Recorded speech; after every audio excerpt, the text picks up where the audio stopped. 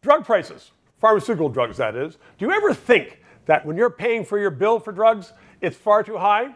Well, we're going to find out the answers to that because I am broadcasting from Secret, a bar on top of George in downtown Toronto. My guest today is Chris MacLeod. He's not only a lawyer, he battles himself cystic fibrosis. He knows all about drugs.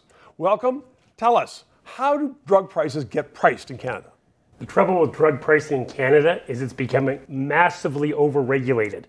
The so fed- is that the provincial government or federal? Both. Ooh. The challenge, you not only have the provincial government involved, the federal government's involved, and they've created secondary agencies, the PCPA, the CADTH. It's alphabet soup. And it's almost impossible for drug companies with innovative new drugs to break into the Canadian market. And what we really want is a negotiated price. If you're going to buy a Ford or any car, you walk on and you negotiate the best deal possible for your family. Right.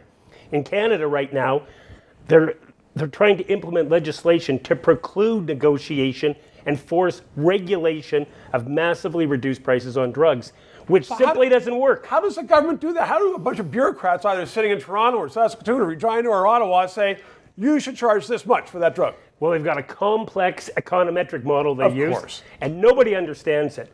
But the scariest piece of it all is this hasn't gone through Parliament.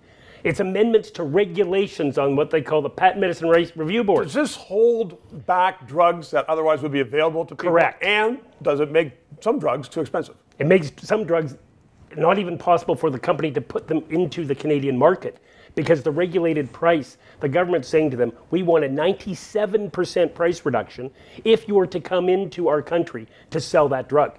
The company said, look at, we can't reduce it, so we have a 3% coverage. Right. Nobody works for three, right? Five percent.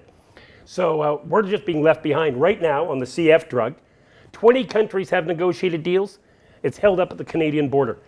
So Canadians are not being served well by this process. No. In other words, people are either paying too much or they can't get the drug at all. But Stephen, there's no political leadership. It's a vacuum, and the bureaucrats have filled the vacuum.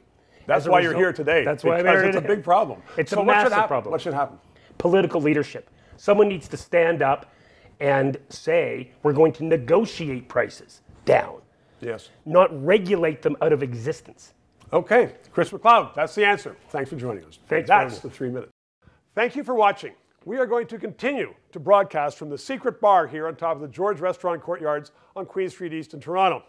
In these days, where politicians are spending a lot of your money, Parliament's not sitting, it's important to have an independent news source. That's what we are doing. We hope you subscribe.